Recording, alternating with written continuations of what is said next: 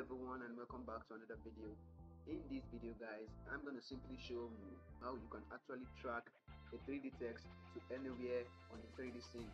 This can be a desert, forest, a drone shot from anywhere. I'm going to show you how to simply track any text to any of these places right in After.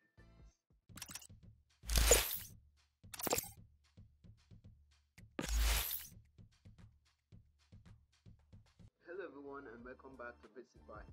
If this is your first time here, click the subscribe button below this video so that you can actually get notified when I upload a new tutorial just like this one.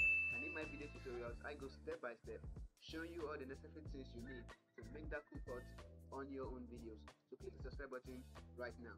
Like I said at the beginning of this video, I'm going to simply show you how you can actually create a 3D text and track this text to anywhere on the 3D scene. It can be a desert, doesn't matter. It can be a forest or anything, your rooftop, a drone shot. I'm going to show you step by step how to track 3D text to any of those places. So let's dive right in with a quick tutorial in After Effects. So right here we are in After Effects and once you're on After Effects and on this page what you want to simply do is that you want to click on new composition from footage. Click on that and it's going to pop in this area where you want to simply select your video file or any file actually you want to use for the video. So now I'm going to select this desert area shot right here. You can actually use anyone for this. I'm going to go with this one and I'm going to click on import. And once it has imported I'm going to simply see it right here on the composition panel or on the timeline anyone you call it. So now the next thing you want to simply do once it has entered here is that you want to check if it is at the right composition settings. Now you want to simply go to composition settings and you can lock aspect ratio if you like and this is only a 13 seconds duration. You want to set your own custom duration and that's pretty much all the settings you need to know. Click on ok and right here on the effects and presets you want to simply open that up and look for the 3d camera tracker effect simply drag this and place this on the clip. It's going to show you this where it says analyzing in the background one of two so you want to simply wait for this to analyze and once it has finished analyzing you can actually continue with tracking the text. So right here in the effect controls you see that it says 1% frame 9 of 409 track. So now we want to simply wait approximately 6 minutes for that depending on how fast or how slow your system is. So it's still going. So we're going to simply wait for this. We're going to come back after it has finished analyzing in the background. So after after effects finish analyzing in the background it's going to show you this screen where it says solving camera. And you want to simply wait for this to actually solve the camera and show you the tracking points which it has actually tracked. And it's going to take a little bit time but not as long as the analyzing in background did. So within any moment from now it's going to show you all these tracking points where you can actually track a text to a logo anything at all. You can track a face a text a logo just anything at all. And I'm going to show you how you can actually do that. So while waiting for this to solve camera if this is your first time here and you want to learn more things about Premiere Pro and After Effects click the subscribe button below this video. And also turn on the bell notification so that you actually get notified whenever I drop a new video just like this one. So with that said, you saw the intro I did at the beginning right?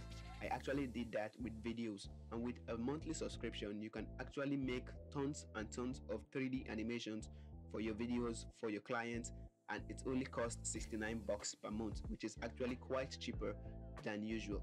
So click the link in the description below to actually get Viddyoze for only 69 bucks per month. So right now in After Effects, you can see that has finished solving the camera. It's going to show you some tracking points right here that you can actually use to track text. If you hover around this tracking point, you're going to see some red dart lines just like this. And one thing you want to do is that you want to move to somewhere in the middle to set the effect better. So I'm going to go to somewhere in the middle and it's going to show me some things like this and if the tracking points are too small for you to see you can actually increase the size right here on the tracker point size. Now increasing that is going to make it bigger. So now you want to look for a red point just like the one you're seeing right now. And what you want to simply do on that point is that you want to right click and say create text. So now we're going to create a text right here and it's going to show us this text box right here. And as you can see the text is not in the right perspective. So one thing we have to do is that we have to put this in the right perspective so coming down to the text right here, we're going to click on text, we're going to click on the rotation properties. And once we click on the rotation properties, we need to rotate this to our desired um, perspective. So if it's like this, you want it, you can actually leave it that way. If you want to turn this around, you can actually do it.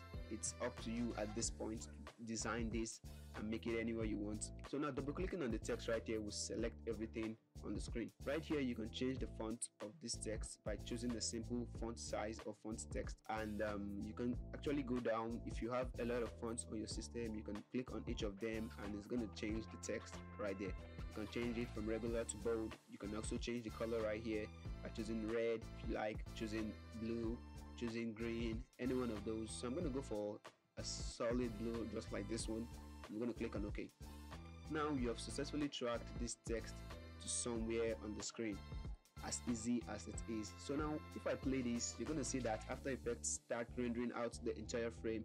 So now for this to work fine you can simply click on the play button on the spacebar so after effects starts playing the clip and as you can see the text is now tracked to this desert scene right here. And how do you know it is tracked? Now if i turn off this camera or 3d camera right here i turn it off what you see is that if i continue moving forward the text stays at the exact position throughout the entire frame. It doesn't change as you can see right here it stays here. But if you want to know that you actually tracked this turning on the camera or 3d camera tracker will align the text to the place you actually chose. So if i move forward you're going to see that it follows the desert part. It goes along with it. So if i move further you see it changes position according to how you tracked it so moving further you see that it comes closer and that's how you can easily know you actually tracked a 3D text. So that's how easy it is guys. So the next step is to simply go to file, click on export and add to Adobe Media Encoder Queue. And this is going to render your clip and you have a 3D text tracked to a 3D scene.